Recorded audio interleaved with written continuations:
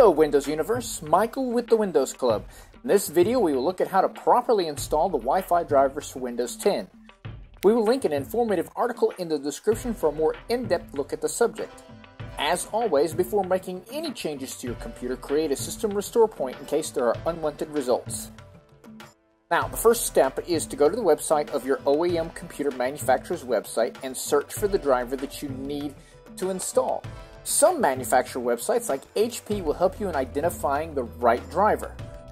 Once it is downloaded, click on Open and follow the on-screen instructions on how to install the drivers. Restart your computer and let the installation take effect. Once that is complete, go to the Device Manager, go to the driver that you've downloaded, right-click to Open Properties. Go to the General tab and if all is working, the status will tell you that this device is working properly. Have you had to install Wi-Fi drivers? Did you encounter any problems? Let us know in the comments down below. For more helpful Windows 10 articles, go to our website, thewindowsclub.com.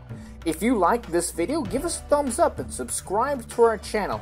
We are always adding new content to make your digital life a little bit easier.